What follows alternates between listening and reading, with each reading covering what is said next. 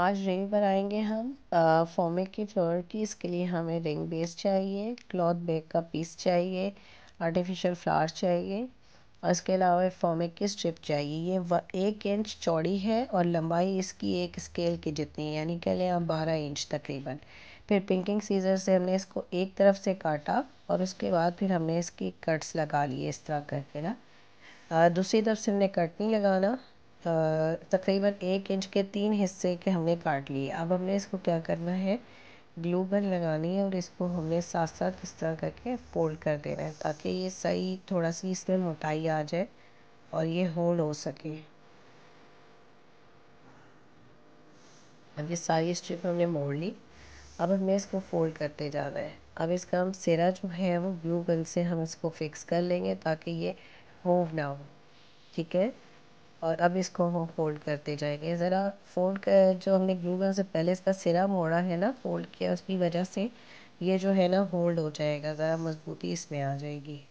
ये देखिए, ऐसा करके ये हमने बना लिया अब हम इसको क्लॉथ बैग के पीस कटिंग के ऊपर हम इसको लगा देंगे ग्लू गन से।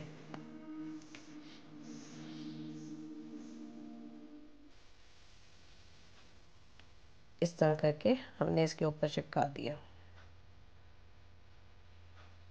पहले ही आप रफली फोल्ड करके देख लीजिएगा कि इसके नाप का आ जाए तो फिर आपने उसी हिसाब से नाप से आपने फोल्ड करना है, ठीक है?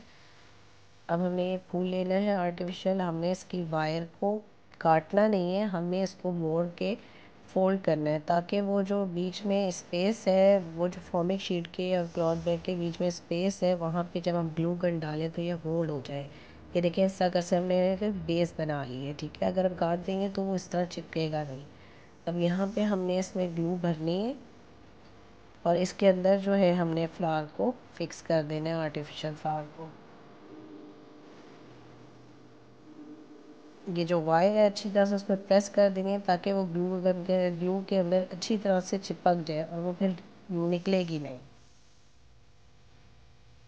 सेट कर ले फ्लावर को अच्छी तरह प्रेस करने के बाद। अब कोई भी फ्लावर ले सकते हैं आर्टिफिशियल ये आपकी चॉइस है, ये फॉर्मिक का नहीं है, ये आर्टिफिशियल मटेरियल का है फ्लावर अब हमें सी गर्म करनी है और इसको इस तरह करके हमने आहिस्ता आहिस्ता इसको लगाते जाना है और ये खुद अपनी फॉर्म में आती जाएगी फॉर्मिक शीट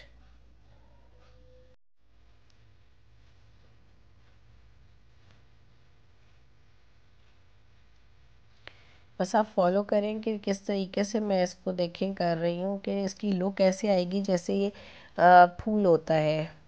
बिल्कुल इस तरह से इसकी पेटल्स आएँगी और आप देख लेंगे मैं किस तरीके से इसको जो है ना, कर ज़रूरी नहीं है कि हम इस्ती को रखें, हम फ्लावर को भी इसके इस्ती के साथ घुमा सकते हैं इस तरह से। बस अपने हाथ बचाने आपने जलने से। बाकी ये कि और इस्ती बहुत ज़्यादा गर्म ना हो इसकी बिल्कुल लुक ऐसे आ रही है जैसे ये आर्टिफिशियल फ्लावर होता है।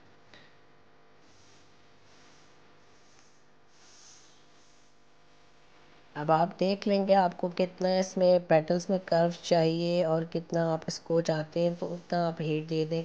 बहुत ज़्यादा नहीं है कर्व देना चाहते तो कम उसको आप कर लें। अगर ज़्यादा उसको देना चाहते हैं तो आपकी मर्ज़ी है। ये आपके ऊपर डिपेंड करता है, आप इसको इस तरह से शेप अप करना चाहते हैं। फ्लावर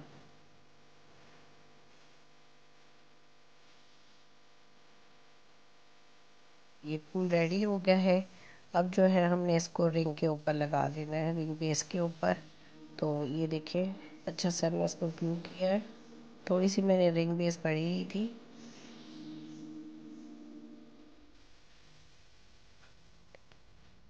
अच्छे से इसको हमने प्रेस कर दिया है ताकि जो है वो आ, सही तरह से बेस चिपक जाए। अगेन हमने क्लॉथ बैग लेना है और इसको सेंटर से कट करना है ताकि हम इस रिंग बेस को कवर कर सकें और वो मज़बूती से जुड़ जाए।